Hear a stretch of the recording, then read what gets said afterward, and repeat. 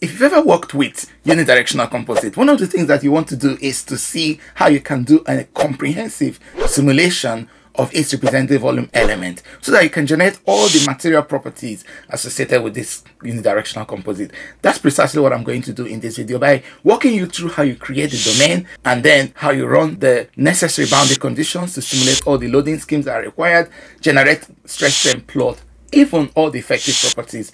That's what we're going to do in this video. If you're interested, sit back and relax as we get started with the video. This is the first of a three-part series of videos that I'm making about the holistic modeling of unidirectional composites and this very first video is targeted at creating the microscale representation of the domain. So here I'm going to show you how to create the fiber, the matrix and the interface and what is the thinking behind this. So as we start the video, the first thing we're going to do is to look at the microscale representation of this unidirectional composite. And I've got a model. On the outside here, you've got the matrix. The green region here is the fiber, and then the red region is the interface. And the dimensions are all given here. So basically, it's a cuboidal representative volume element with a length of 120 micron in length. So this is the longer part, part of the model, the axial region. And then the in-plane dimensions are 100 microns in the length and the width. The fiber diameter that I'm using for this is going to be 68.8 microns. So let's look a little bit more as to how I arrived at that value.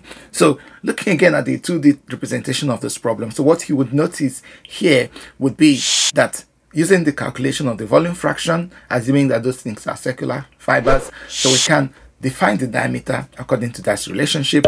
And then if we look at the material that we're testing with, that we're using as our candidate material, it would have a volume fraction of 35%.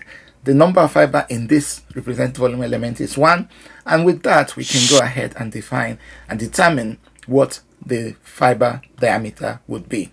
So it will have a radius of 33.38 microns in radius.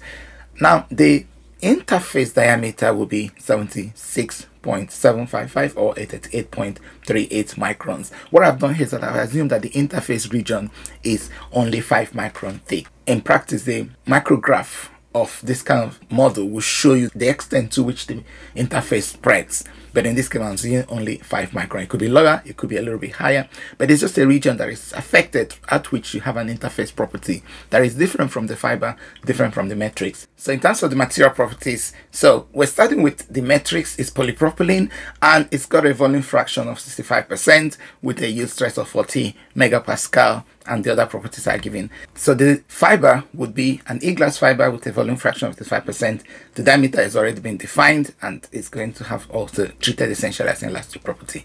In terms of the interface region, there are different ways you can model your interface, but the approach I'm going to use in this video is to model it as similar, having similar properties as the matrix. However, it's going to be a hardened matrix, a hardened polypropylene. What that basically tells me is that I'm trying to make it a little bit stiffer than the metric because this is essentially what happens in practice. That the interface region is essentially inheriting the properties of the matrix. However, it has higher stem elastoplastic model that I'm using for the matrix. However, the properties will be higher and it will experience a sudden uh, reduction in yield and a significant stress softening as soon as you know it begins to yield. And to a capture that i provided a, a, list of you know relationship between you know numbers between the yield stress and the plastic strain that will make this happen. So this is how i'm going to use it. However there are other ways that you can do this you know by using maybe the fracture mechanics approach. But this is a continuum mechanics approach that i'm using. And it's just one way that you can try and model this problem so here we are in Abaqus and the first thing we need to do is to create a part. So I'm going to create just the matrix first. So, and it's going to be extruded. And so what I'm going to do is basically here, I'm going to say minus 50, minus 50, and then 50, 50. So this is the in-plane properties and then cancel and then click done. And the depth wise we want to work with is 120 microns. And then, so basically that's the matrix. So we'll do the same thing for the fiber. So I'm going to call my fiber. My fiber will be extruded as well. So what we know is that our, our origin will be 0, 0. And we're looking at a 3.38 and 0 for the diameter of the fiber. Okay, and then you click on. So how deep do we want it? We want it the same 120. So that's the fiber. Then we'll do the same for the interface so let's work with the interface i know that i want the interface again to have a circular so the origin is 0 0 and it will be 38.38 and 0 so that's how big the interface would be and then we click OK. So again, we want it to be 120. So this way we have the three systems, the three materials that make up this. So let's just go to the assembly module and double click on the instance and then select all three. So we can see the system looks the way it's supposed to be. So we've got the fiber, we've got the interface, and then we've got the matrix. As expected, everything looks all right. So then we just need to match the system. So I'm going to call it my UD composite RVE or something like that. So I'm going to return all the intersecting boundaries and draw a big box around this. So what I've done here is I've merged them into one system. And then if we then go back to the top here, it's created an extra part. And this extra part, we can then do a section assignment. But before we do that, let's create the materials. So the first material that we are looking to create here is the polypropylene. So the polypropylene, according to the properties that we have, it will have a 1.38308 and 0.240 as a matrix, as um, elastic properties. And then the plasticity, we're going to do a simple uh, elastoplastic material. So 4 T e power 6 and 0.0. So that's enough for the matrix. So let's work with the fiber. So in terms of the fiber, we know that it's going to be an e-glass fiber, so and it's going to be modeled as elastoplastic. So that will be some 3 e to power 9 and 0.20 and nothing else really in terms of the fiber in this instance. So let's think about the interface. So remember the interface, we are going to model it as a hardened matrix basically, something that has a slightly you know stronger properties as a matrix. So the matrix, the, so it will have the same stiffness as 3.08 e to power 9 0.40 again you could also change this to maybe something you know slightly stiffer maybe about 2 e to power 8 but i'm trying to keep the same properties as the interface as the matrix and then the plasticity is really where I expect the change to be significant. So we have a range of values of how the plasticity is changing, beginning with 50 e to power 6, 0, and then the next one here is 20 e to power 6, 0 0.12, and 10 e to power 6, 0 0.25, and 5 e to power 6, 0 0.30. The next one is 2 e to power 6, 0 0.40, and final one e to power 6, 0.45. So the idea is you're looking at a significant sudden change um, post-yield softening associated with interface region. So I'm modeling it this way using this approach in this modeling. Okay, so that's what we we find here. So we can then look at the sections. So first thing, the PP section. So we need to create the PP section. So we'll just select that as the polypropylene. Double click on this section again. So we'll look at the fiber section. So the fiber would be there and then finally the matrix section or the interface section. So we need to create this so that we can then associate it with the material models we have before. So if we then, once we've done all that, so we can go back on the top here and try and do the section assignment. So this is material we're looking at. So double click here. So untick there. So I select the matrix first so the matrix here is going to be associated with PP section. That's fine.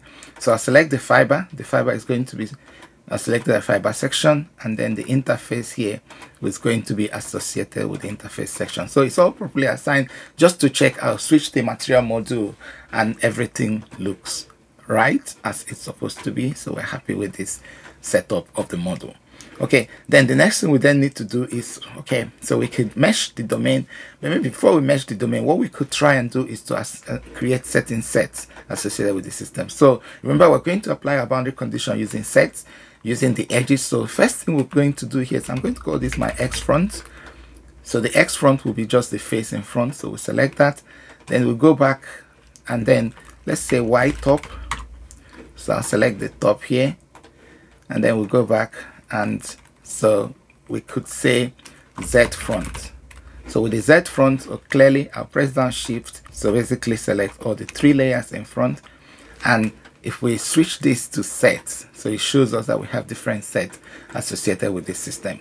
Okay, so we can then move back and look at the back here. So clearly the back is empty. So we need to select that back as well. So that will be our X back. So I could just highlight just only that bit. Make sure I select that. So now it identifies that. Then this place is going to be Y base or y back. So let's call it y base. So y base. So which will be that. And then there will be only one part that is left which is the x z back. So that will be z back. So and then we select basically pressing down shift making sure we're selecting only the faces. So if we then look around you can see that each face is clearly identified properly as it should be. So we've got everything that we need there created as it's supposed to be. Now and then we can then think about meshing. So if we select it's recommending 12 so maybe we could go one third of that and apply that. So this is fine. And then I'm selecting everything here making sure that I'm selecting a hex dominated with medial axis. We could do hex with medial axis minimize mesh transition and we mesh. So that looks okay. Okay so generally it looks all right. So we switch it back onto the material module. So it looks all right. So we have the interface region. We've got the fiber. We've got everything that we need as it's supposed to be. Now so we've, we've got everything set up. Then we can then work our way down this pathway. So we can create our steps so this will be a loading step. And static general is fine. So i'll just work with a static general.